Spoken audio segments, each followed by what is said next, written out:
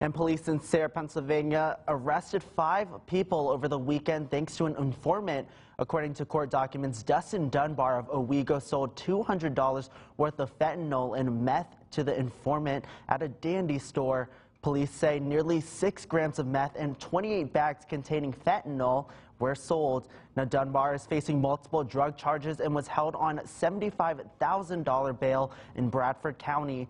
Four other people who were in Dunbar's car were also arrested on drug related charges. None of their identities were released by police.